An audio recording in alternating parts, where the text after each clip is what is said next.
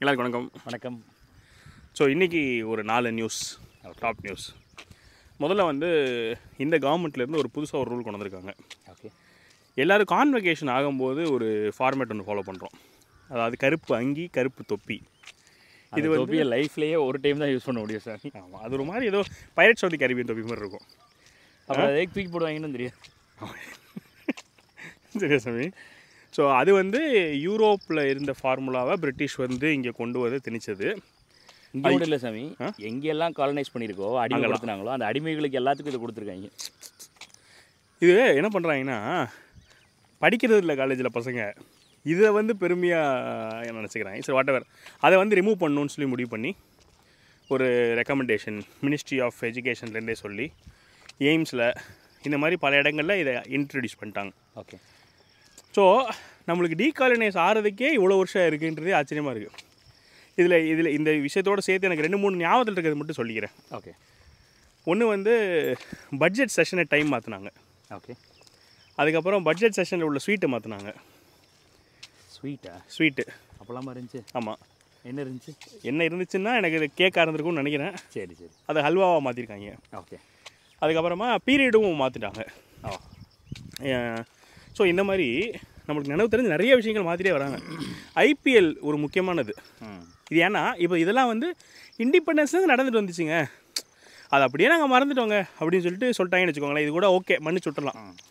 IPL இப்போ தான் ஆரம்பித்தாங்க அதாவது டூ தௌசண்ட் அண்ட் எயிட்டுக்கு கொஞ்சம் முன்னாடி தான் ஆரம்பிச்சிருப்பாங்க. அப்போது இண்டிபெண்டன்ஸ்லேருந்து ஃபிஃப்டி இயர்ஸ்க்கு அப்புறம் ஆரம்பிச்சதுல எல்லாரும் இந்தியாவுக்கு வந்து விளையாடுவாங்க இந்தியன் பிரீமியர் லீக்கு எல்லா பிளேஸையும் வாங்குற விற்கிற ரேட்லாம் இருக்குல்ல. ஆக்ஷன் அதெல்லாம் டாலர்ஸில் நடக்கும். ஸோ இது வந்து என்னென்னா பியூர் ஏதோ ஒரு நல்ல வேலை கவர்மெண்ட் சம்பளத்தை வந்து டாலரில் போடலை. கரெக்டு இப்போ நீங்கள் எக்ஸ்போர்ட் பண்ணுறீங்கன்னு சொன்னால் இந்தியாவும் ஃபாரின் கண்ட்ரி எக்ஸ்போர்ட் பண்ணுதுன்னு சொன்னால் டாலரில் தான் பேசிப்பாங்க. ஏன்னா வந்து ரெண்டு கரன்சிக்கும் ஒரு மத்தியமான கரன்சி அதை இப்போ மாற்ற ட்ரை பண்ணிட்டு இருக்காரு. இந்தியாக்குள்ளே நடக்கிற ஒரு போட்டிக்கு டாலர் நடந்துட்டு இருந்துச்சு. அதை திரும்ப இப்போ மோடிஜி வந்ததுக்கப்புறமா ருப்பியில் மாற்றினாங்க ஏன்னா இப்போ ருப்பியில் மாற்றினதுக்கு அப்புறமா தான் நான் பார்த்துட்டு இருக்கேன். ஒரு ஒரு ஃபாரினரும் உனக்கு எவ்வளோ வந்திருக்கு? பத்து கோடியா? அப்படின்னா இவ்வளோ டாலரா ஓ அப்படின்னு இந்தியன் ருப்பியை கன்வெர்ட் பண்ணி அவங்க புரிஞ்சுக்கிறாங்க. ஸோ இந்த மாதிரி டீகாலேஜ் இன்னும் நிறைய பண்ண வேண்டியிருக்கும்னு நினைக்கிறேன். இப்போ இந்த எக்ஸாம்பிளுக்கு இது இருக்குல்ல ஐபிசி இருக்குல்ல. ஐபிசி பேரை மாற்றினது ஓகே. பேர் வந்து இந்தியன் பீனல் கோடு ஆனால் இது என்ன சொல்கிறாங்கன்னு சொன்னால் இந்தியன் பீனல் கோடுன்றாங்கல்ல பீனல்னா தண்டனை. அதாவது உன்னைய பனிஷ் பண்ணுறேன்னு சொல்லிட்டு. அப்போ இது தண்டனை சட்டம் கிடையாது. நம்ம நோக்கம் வந்து அவனுக்கு தண்டனை வாங்கி கொடுக்குற நோக்கம் கிடையாது. நம்மளுக்கு நோக்கம் வந்து நியாயம் வாங்கி கொடுக்குற நோக்கம். அப்போ இது நியாய சட்டம்னு மாற்றிருக்காங்க ஸோ இது மாதிரி பேசிக்காக குட்டி குட்டி குட்டி விஷயங்கள். அப்படி நிறைய பண்ணி டீகாலனைஸ் பண்ண வேண்டிய ப்ராசஸில் இது ஒரு முக்கியமான ப்ராசஸ் ஏன்னா குழந்தைங்களுக்கு ஸ்டூடெண்ட்ஸுக்கு முதல்ல இருந்தே ஒரு ஒரு இந்திக் ஒப்பீனியன் கிடைக்குங்கிறது ஒன்று அதுக்கு என்ன கொண்டு வர போகிறாங்கன்னு தெரியல. அதுக்கு பதிலாக ஸோ இது ஃபஸ்ட் நியூஸு செகண்ட் அப்படியே ஃபாரின் போயிட்டோம்னா எனக்கு ரொம்ப மைண்டு ஓப்பன் ஆகிற ஒரு விஷயம். இந்த கிளைமேட்டில் ஃபாரின் போகணுமா சாமி? இதே ஃபாரின் மாதிரி தான் இருக்குது ஆ கரெக்டு ஏன்னா இது எங்கே போகிறாங்கன்னு கேட்டிங்கன்னா சாமி? இன்வேர்டாக போகணும் இன்வேர்டாக போகணும் நம்ம பேசிட்டே இருக்கோம்ல. ஆமாம் அது வந்து எலான் மஸ்க் வந்து ரொம்ப ஓவராக புரிஞ்சுக்கிறாரு. அவர் அவுட்டோட போகிற ஆள் இல்லை. நீங்கள் தான் இல்லை அவர் என்ன சொல்கிறாருன்னா நீங்கள் தான் இன்வேர்டாக போக மாட்டேங்கிறீங்க. நான் வேணா உங்களுக்குள்ள இன்வேர்டாக போகிறேன் மண்டக்குள்ள சிப்பு போடுறாரு? இப்போ போடுறதுல ஒரு மிகப்பெரிய பிரேக் த்ரூன்னு அவரே சொல்கிறாரு. ஒரே ஒரு மனுஷனை மட்டும் ட்ரை பண்ணாங்க. ஆ. அதுக்கே அவங்க பயங்கரமாக லைசன்ஸ் வாங்கி தான் ட்ரை பண்ணணும்னு வச்சுக்கோங்களேன். சரி. இப்போ நேற்று முந்தா நாள் பண்ணிட்டாங்க நமக்கு நேற்று நியூஸ் வந்துச்சு. ஆ. ரெண்டாவது ஆள் சக்ஸஸ்ஃபுல்லி எக்ஸ்பெரிமெண்டட் ஆ. அவரோட ப்ரொஜெக்ஷன் அவர் ப்ரொஜெக்ஷன் எல்லாமே more or less work out ஆயிருது. ஓகே. இன்னும் அடுத்த வருஷத்தில் பல தௌசண்ட்ஸ் பண்ணுவாங்களாம். ஓகே. அடுத்த அஞ்சு வருஷத்துக்குள்ளே எலான் மஸ்க் ப்ரப்போஸ் பண்ணால் ஆளுங்க வந்து க்யூவில் நிற்க ரெடியாக இருக்காங்க. என்ன வேணா நீ பண்ணிக்க என்ன? என்ன சாமி? ஸோ நான் சோர்ஸே போய் நான் வந்து டேட்டா கலெக்ட் பண்ணிக்கிறேன்டா அப்படின்ற மூடில் போயிட்டுருக்காரு. அடுத்த ஒரு அஞ்சு வருஷத்தில் வந்து பல லட்சங்கள். டென் இயர்ஸ்க்குள்ளே மில்லியன்ஸ் வந்து நியூரோ இன்கம் மண்டையில் வச்சுருப்பாங்க அப்படின்னு ஒரு ஒரு போல்டு ஸ்டேட்மெண்ட் சூப்பர் சூப்பர். என்னன்னு சொல்லுங்கள் என்ன பண்ணுவாங்க? சிப்பு வச்சு பிரெயின் ஆக்டிவிட்டி ஸ்டடி பண்ணுறாங்க சாமி. ஓ அது வந்து ஒரு பாசிட்டிவான விஷயங்கள் எதுக்கு பயன்படுத்துகிறாங்க இப்போ ஓட்டு போடுறதுக்கு முன்னாடி சிப்பை வந்து ஒரு ஹேக் பண்ணிட்டா எந்த அதுக்கெல்லாம் அதுக்கு பெர்மிஷன் கொடுக்க மாட்டாங்க. இப்போ எப்படி இப்போதைக்கு எப்படி போக போகுதுன்னு நான் சொல்கிறேனே ஸ்டார்டிங்கில் எப்படி பெர்மிஷன் கிடைச்சி எப்படி போக போகுதுன்னு சொன்னால் இந்த டிஸ் டிசபிலிட்டி இருக்குல்ல. ஆமாம் அவங்களுக்கு வந்து இவங்க என்ன பண்ண முடியுதுன்னு சொன்னால் பேச வைக்க முடியுது. பேச வைக்கிறது கேட்க வைக்கிறது புரிய வைக்கிறது. இந்த மாதிரி சேலஞ்சு பர்சன்ஸ் எல்லாத்துக்குமே இதை வந்து பயன்படுத்த போகிறாங்கன்றது ஒரு ஃபஸ்ட்டு கட்டமான ஒரு தகவல். நைஸ் ஏன்னா அவங்க வந்து they they'll be ready to take more ரிஸ்க்குங்கிறது ஒரு ஒப்பீனியன் வச்சுக்கோங்களேன். அதனால் இவன் எல்லாமே ஒரு மாதிரி ஒரு இதாக தான் யோசிச்சு போகிறான் சாமி சாமி சாதாரண சார்ட்டட் அக்கௌண்டன்ஸே செமையாக மனிப்புலேட் பண்ணுறாங்க சாமி. ஏன் சாமி? இல்லை. அவங்க வேலையே வந்து டேட்டாவை மாற்றுறது. லெவல் லெவலாக போகிறது கண்டுபிடிக்கிறது யார் எவ்வளோ தப்பு பண்ணுறாங்கிறத வந்து ட்ரை ட்ராக் பண்ணுறது இது ஒரு தப்பான ஒரு புரிதல் சாமி சாழக்கோனோட வேலை வந்து உங்களுக்கு ஒரே பயமாக இருக்குது சரியா சாமி? இப்போ போலீஸோட வேலை வந்து திருடனை கண்டுபிடிக்கிறதுன்னு இருந்து போட்டோம். மக்கள் எல்லாத்துக்கும் ஒரு பயமாக இருக்குது இவன் சொல்கிறது உண்மையா பொய்யா? இவன் ஒரு ஃபிகர் சொல்கிறான் இவ்வளோ லாபம் சொல்கிறான் அது உண்மையா பொய்யா? இவனை நம்பி கடன் கொடுக்கலாமா வேண்டாமா? இவன் கம்பெனியில் இப்போ தொழில் பொருள் வாங்கலாமா வேண்டாமான்னு எல்லார் மேலேயும் பயம் இருக்குது நம்பிக்கையின்மை இருக்குது இப்போ இந்த நம்பிக்கை எப்படி கொண்டு வருதுன்னு அரசாங்கம் யோசிக்கும் போது ஒரு செட்டை வந்து இதுக்குன்னு தயார்படுத்தி அவங்க சொன்னாங்கன்னா நம்ம நம்பலாம். ஆடிட். ஆடிட் பண்ணிவிட்டு இவர் கையெழுத்து போட்டார்னா இதில் என்ன சொல்கிறானோ அந்த கம்பெனிக்காரர் என்ன சொல்கிறானோ அதை நம்பலாம்னு சொல்லி சொல்கிறாங்க இல்லை நான் நான் எதுக்கு இப்போ ஆடிட்டர் பேச்சு எடுத்தேன்னா ஒரு ஆடிட்டர் லாயருக்கு வந்து எந்த அளவுக்கு வந்து first layer second level third level ஒரு லாஜிக் வந்து எப்படி அவங்க செஸ் மாதிரி விளையாடுவாங்களோ ஆமாம் இவனோட லாஜிக் என்னங்கிறது பத்து வருஷம் கழிச்சு தான் புரியவே செய்யும். இப்போ இவன் பத்து வருஷத்துக்கு முன்னாடி வந்து ஸ்பேஸ் எக்ஸை பற்றி என்ன சொன்னான் இப்போ என்ன பண்ணிட்டு இருக்கிறான் ஆமாம். அது பேர் என்ன? அந்த எக்ஸ் வாங்கினதா இருக்கட்டும். அதுக்கப்புறம் அந்த பறக்கிற கார் என்னது? அஹ், அஹ், வானத்துல எல்லாம் கார் விட்டானே. டெஸ்ட்லா இது எல்லாத்தையும் கம்பைன் பண்ணி பண்ணுறதோட உள்நோக்கம் என்ன? என்னென்ன எக்ஸ்பெரிமெண்ட்டுக்கு எதை எதை பண்ணுறான் என்ன வெளியே சொல்கிறாங்கிறதே டைம் தான் முடிவு பண்ணுது. அதனால் அவன் எல்லாத்தையுமே ரிவீல் பண்ணான்னாலே நான் நம்ப மாட்டேன்.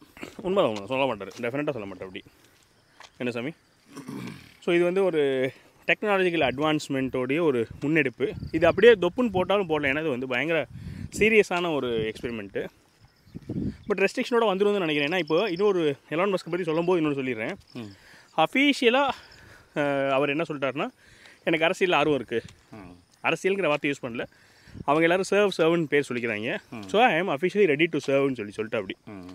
ஸோ மோஸ்ட் ப்ராபப்ளி இந்த கவர்மெண்ட்டில் ஏதாவது அட்வைசரி போர்ட்லையோ இல்லாட்டி ஏதாவது மினிஸ்ட்ரியோ இருக்கலாம். ஏன்னா ட்ரம்ப் ஜெயிக்கிறதுக்கான வாய்ப்பு பிரகாசம். இவருமே அதை செம்மையாக சப்போர்ட் பண்ணிருக்காரு. சப்போர்ட் பண்ணுறாரு முன்னாள் பிரசிடென்ட் கெனடின்னு ஒருத்தர் இருக்கார். அவர் குடும்பத்தில் இருக்கவரும் நேற்று வந்து பிரசிடென்ஷியல் ரேஸ்லேருந்து வெளியே போயிட்டு இவருக்கு சப்போர்ட் பண்ணிட்டாரு. இந்த சோமநாத் வந்து டிஆர்எஸ்ல ஒரு இன்டர்வியூ கொடுத்துருக்காரு சாமி இஸ்ரோ ஹெட் அப்போ வந்து எலான் மஸ்கை பற்றி கேட்கும்போது சோமநாத் ஒரு வித்தியாசமான ஒரு ஆங்கிளில் சொல்றாரு சாமி. அவர் சயின்டிஸ்டாக இருக்கட்டும் ரிசர்ச்சராக இருக்கட்டும் ஆண்டர்பிரனாக இருக்கட்டும் ஆனால் எல்லாத்துக்கும் மேலே அவர் சிஸ்டமை புரிஞ்சு வச்சிருக்கிறாரு. ஒரு தேர்ட் பார்ட்டி ஆர்கனைசேஷனாக இருந்துட்டு கவர்மெண்ட்டை விட மேலே போய் கவர்மெண்ட்டோட இன்ஃப்ளூயன்ஸில் எப்படி ஒரு சட்டத்தை உள்ளே கொண்டு வரணும் எப்படி அப்ரூவல் வாங்கணும் எப்படி இவ்வளோ பெரிய விஷயத்தை வந்து ஒரு தேர்ட் பார்ட்டியாக இருந்து எக்ஸிக்யூட் பண்ண முடியணுங்கிறத அவரால் கிராக் பண்ண முடிஞ்சிருச்சுன்னா இஸ் பிகர் தேன் இந்த கவர்மெண்ட் வாட் வி திங்க் அப்படிங்கிற மாதிரி சொல்கிறாரு உண்மைதான் சாமி. இப்போ அவர் பாலிடிக்ஸ் வர்றது வந்து அவர் என்னைக்கு பிளான் பண்ணாருன்னு நமக்கு தெரியாது. ஆமாம் தெரியாது. இப்போ பாலிடிக்ஸ் ஏன் வர்றாருங்கிறது நமக்கு தெரியாது. இந்த இலுமினாட்டிங்லாம் சொன்னாங்களே சாமி? இவன் தான் சிஇஓனால நான் நம்புவேன் சாமி.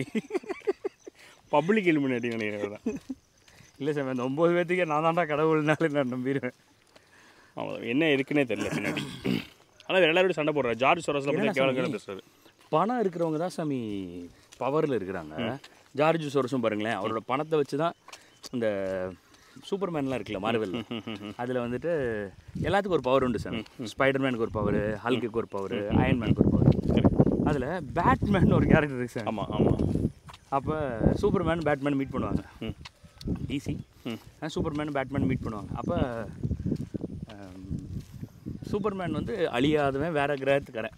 ஆ. அவன் வந்துட்டு வந்துட்டு கேட்பான் பைதவே உனக்கு என்ன ஸ்ட்ரென்த் இருக்கு? அப்படின்னுவான். ம். மணி அப்படின்னுவான் அப்படியா? ஓ. நிஜமாவே பணம் இருக்கிறவனை தான் இந்த உலகம் மதிக்குது. அவனுக்கால எல்லாத்த விட அதிகமாக இன்ஃப்ளூயன்ஸ் பண்ண முடியுது. இந்த கலிகாலத்தோட ஒன் ஆஃப் தி ட்ரேட்ஸ்னு நினைக்கிறேன். இல்லை?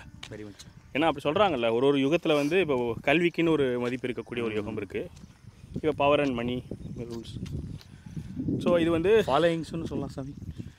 என்ன ஃபாலோயிங்ஸு ஃபேன் ஃபாலோயிங்ஸ் ஆ ஃபேன் ஃபாலோயிங்ஸு என்ன சும்மா ஒரு ஒன் மில்லியன் நம்பர்ஸ் ஒரு இதில் காட்டினாலே செலிபிரிட்டி ஏறுறாங்க. ஆமாம் பட் அதெல்லாம் ஒரு என்ன சொல்கிறது மின்மணி பூச்சி மாதிரி தான் நினைக்கிறேன் சாமி. டைம் பீங் இருக்கும் அப்புறம். ஆ. It has its own hmm. இல்லைன்னா அவங்க பேசுகிறதெல்லாம் மீடியாவில் வராதுல்ல. இப்போ சோம்நாஜி பேசுகிறத விட ஒரு நாலு இன்ஃப்ளூயன்சர் பேசினா ரீச் ரொம்ப இருக்கு சாமி. சோம்நாஜே இன்ஃப்ளூயன்ஸ்கிட்ட போய் பேசினா தான் ரீச் இருக்கு. இல்லை அப்படி ஆயிடுச்சுல்ல. இல்லை மார்க்கெட்டிங் தானே சாமி. மார்க்கெட்டிங் ஒரு டிஃப்ரெண்ட் டிஃப்ரெண்ட் ஷேப் எடுத்துக்குது. ஷேப் அண்ட் ஃபார்ம் டிவி இருந்துச்சு நியூஸ் பேப்பர் இருந்துச்சு. நம்பர் தான் சாமி. அந்த நம்பர் வந்து கரன்சியில் இருக்கா ஃபாலோவர்ஸு சப்ஸ்கிரைபர்ஸில் இருக்காங்கிறது இன்ஃப்ளூயன்ஸ் ம், ம், ம், ம். சரி சாமி பாயிண்ட் ம். ஸோ இது வந்து நம்மளுடைய ரெண்டாவது ஓகே. செய்தி.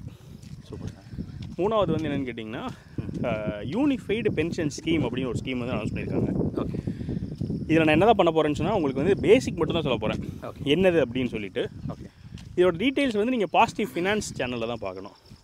ஏன்னா அது வந்து எக்ஸ்க்ளூசிவ்லி ஒரு ஃபினான்ஸ் டாப்பிக்கு ஸோ இப்போ இந்த நம்மளோட சேனல் தான். ஆ நம்ம ஆமாம் மணியன் வந்து ஆடிட்டர் சிஏ ஸோ எப்படி பாசிட்டிவ் பாலிடிக்ஸ் நம்ம பண்ணுறோமோ அதே மாதிரி பாசிட்டிவ் ஃபினான்ஸுங்கிற ஒரு சேனலில் வந்து. எக்கனாமிக்ஸ் ஃபினான்ஸ் காமர்ஸ் டேக்ஸ் இது சம்மந்தமாக நிறைய விஷயங்கள் பேசுகிறாங்க எல்லாமே தமிழில் தான். நம்ம positive finance positive politics positive family எல்லாமே பாசிட்டிவ்ங்கிற ஒரு பிராண்டு கடையில் கொண்டு போயிட்டோம். ஸோ நீங்கள் நம்ம நம்மளோட ஃபீச்சர்டு சேனல்ஸ் நம்ம சேனலில் போய் பார்த்தீங்கன்னா இதில் நம்ம எல்லா சேனலும் வந்துடும் அது பேரோட பார்த்துட்டு வந்துருங்க. ஸோ அந்த யூனிஃபைடு பென்ஷன் ஸ்கீமில் என்ன சொல்கிறாங்கன்னு சொன்னால் டுவெண்ட்டி ஃபைவ் இயர்ஸ்க்கு மேலே வேலை பார்த்தவங்களுக்கு. அவங்க last twelve year last twelve மந்த்ஸில் வாங்கின பேசிக் பேயோட ஆவரேஜ் எடுத்து அதில் ஃபிஃப்டி பர்சன்ட்டை வந்து நான் சம்பளமாக பென்ஷனாக கொடுக்க போகிறேன்றாங்க ஃபஸ்ட்டு பாயிண்ட் செகண்ட் பாயிண்ட்டு அதான். நான் இந்த டீட்டெயில்ஸ் எல்லாமே அதுக்கப்புறம் போவேன். ஆ. இது மட்டும் சொல்லிடுறேன் இப்போ.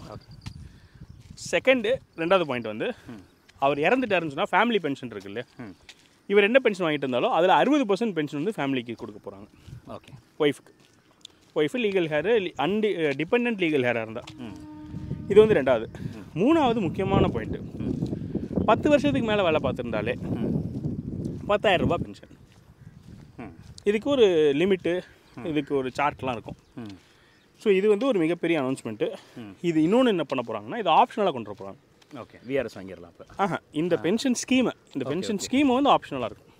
யார் வேண்டான்னு சொல்ல போகிறா சாமி இந்த பென்ஷன் ஸ்கீம் வேணுமா வேறு பென்ஷன் ஸ்கீம் வேணுமா? இப்போ ஆல்ரெடி எக்ஸிஸ்டிங் பென்ஷன் ஸ்கீம் வேணுமா? என்பிஎஸ் வேணுமா யூபிஎஸ் வேணுமான்னு சொல்லி கொண்டு வர போகிறாங்க என்பிஎஸ்னா நியூ பென்ஷன் ஸ்கீமு இது வந்து unified pension scheme okay so இதை பற்றின டெக்னிக்கல் டீட்டெயில்ஸ் இதை பற்றின டவுட்ஸு இது யாருக்கெல்லாம் வரும் யாருக்கு வராது இந்த எஃப்ஏக்யூ எல்லாமே நம்ம பாசிட்டிவ் ஃபினான்ஸ் சேனலில் டீட்டெயிலாக நம்ம ஒரு வீடியோவே போட்டுருவோம் ஓகே அதை நீங்கள் போய் பாருங்கள் என்ன சாமி? ஸோ இதான் சாமி நம்மளோட அஹ், மூணு டாபிக்ஸு சூப்பர் நான் நாலாவது டாபிக் ஒன்று பார்த்துருந்தேன்.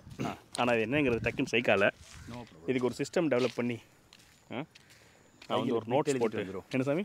கையில் பிட் எழுதிட்டு இல்லை விட்டு எழுதிட்டு. கடைசி வந்து இது வந்து நியூஸ் கிடையாது நான் ஃபுல்லாகவும் பார்க்கல. இருந்தாலும் நான் சொல்லணும்னு ஆசைப்பட்றேன். நீங்கள் அது இன்ட்ரெஸ்ட்டாக ஃபீல் பண்ணுவீங்க. ஓகே இவர் நம்மளோட முன்னாள் முதலமைச்சர் தமிழக முன்னாள் முதலமைச்சர் கருணாநிதி அவர்களுடைய புக் ஒன்று ரிலீஸ் பண்ணியிருக்காங்க. ஓஹோ. அதில் ரஜினிகாந்த் அவர்கள் ஒரு இருபத்தி ரெண்டு நிமிஷம் பேசியிருக்காரு. புக்கில் எப்படி சாமி பேச முடியும்? புக்கை ரிலீஸ் பண்ணுற ஃபங்க்ஷன் ஓகே ஓகே ஒரு புக் லான்ச் ஃபங்க்ஷன் ஓகே அதில் ரஜினிகாந்த் அவர்கள் ஒரு இருபத்தி ரெண்டு நிமிஷம் பேசியிருக்காரு. ஆ. அதுதான் தமிழ்நாட்டு ட்விட்டரில் வந்து வைரல் கண்டென்ட்டு ஆனால் ரஜினி படம் எதுவும் ரிலீஸ் ஆகலையே இப்போதைக்கு? தெரியலையே. ஏதோ ஒரு படம் வருது. காளையன் அந்த மாதிரி ஏதோ. சரி சரி. தெரியல. ஆ, ஏன்னா அவர் மீடியாவில் பேசினாருனாலே அவர் படம் ரிலீஸ் ஆகுதுங்கிறது வந்து இவ்வளோ இருக்கு. சரி சரி சரி. ஆ சரி. ஆக்சுவலாக அதில் பயங்கரமான கான்ட்ரவர்ஷியல் தான் வச்சுக்கோங்களேன். ஓ அப்படியா? ஆமாம் நான் அதை ஃபுல்லாக பார்க்கல. நான் பார்த்தது ஒரு சின்ன சின்ன பிட்ஸ் தான் பார்த்தேன். ஆனால் அவர் உதயநிதி ஸ்டாலின் அவர்களை புகழ்ந்துருக்காங்க போல். அதுக்கு ரொம்ப பேர் டிசப்பாயிண்ட் ஆயிருக்காங்க. ஓகே. இன்னொன்று ஒன்று ஒரு காமெடியாக அவர் பேசுகிறாரு எல்லாரும் சிரிக்கிறாங்க. அதில் பயங்கர ஆழ்ந்த மீனிங் இருக்குன்னு சொல்லிக்கிறாங்க. அது என்னதுன்னா ஒரு ஸ்கூலில் வந்து ஹெட் மாஸ்டரால் புது ஸ்டூடெண்ட்ஸ்லாம் மேனேஜ் பண்ணிட முடியும். ஆனால் அந்த பழைய ஸ்டூடெண்ட்ஸ் இருக்கானுங்க பாருங்க. ம். அவங்கள மேனேஜ் பண்ணுறது ரொம்ப கஷ்டம். அதே மாதிரி நம்ம ஸ்டாலின் அவர்கள் வந்து பல பேரை மேனேஜ் பண்ணுறாரு அதுலேயும் இந்த பழைய ஸ்டூடெண்ட்ஸ் இருக்காங்களே. ரொம்ப பழைய ஸ்டூடெண்ட்ஸு அதுவும் ஃபெயில் ஆகி பழைய ஸ்டூடெண்ட்ஸ் இல்லை. எல்லாம் ரேங்க் வாங்கிட்டு இந்த கிளாஸ் விட்டு நான் போக மாட்டேன். இங்கே தான் உட்காந்துருப்பேன்னு அடம் பிடிச்சி உட்காந்துருக்குறாங்க அவங்கள மேனேஜ் பண்ணலாம் சாதாரண விஷயமே கிடையாது. அதுலேயும் துரைமுருகன் ஒருத்தர் இருக்காரு பாருங்க. ஐயோ இவங்கெல்லாம் கருணாநிதி கண்ணிலே வரல விட்டாட்டினவங்க இப்படிலாம் பயங்கர ஜாலியாக பேசியிருக்காரு. அதுக்கு வந்து டிஎம்கே பெருசுகளை கலாய்த்த ரஜினி. ஸ்டாலின் முன்னே கலாய்த்து இந்த மாதிரி. இது ஒரு எனக்கு இதில் இன்ட்ரெஸ்டே போயிருச்சு. ஆமாம் ஆமாம் ஆமாம் இது ஒரு ஒரு நார்மல் ஒரு மீட்டிங்கு ஒரு இதுன்னு வச்சுக்கோங்களேன். ஆனால் இதில் என்ன ஒரு ஸ்பெஷாலிட்டின்னு சொன்னா சாமி எப்போல்லாம் ரஜினிகாந்த் அவர்கள் பேசுகிறாரோ நீங்கள் எனக்கு அவருடைய ஐடியாலஜி அவரோட தைரியம் அவர் என்ன பண்ணிருக்கணும் அப்படி பண்ணிருக்கணும் அதெல்லாம் செட் அசைடு மனசுலேருந்து பேசுகிறார் சாமி மனுஷன். பயப்படுறது இல்லை சாமி. பயம் எனக்கு இருக்குன்னு தான் தோணுது. ஓகே. ஏகப்பட்ட பயம் அவருக்கு இருக்குது ஓகே. சரியா சாமி? ஆனால் he is true to him செல்ஃப்ன்றது எனக்கு தெரியுது.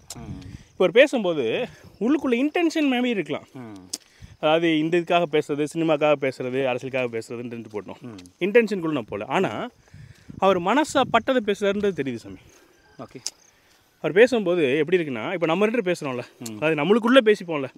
அந்த மாதிரி அவரால் மேடையில் பேச முடியுது ஒரு ஸ்டேஜ் ஸ்பீச் கிடையாது ஒரு ப்ரிப்பேர்டு ஸ்பீச் கிடையாது ஒரு செந்தமிழ் கிடையாது.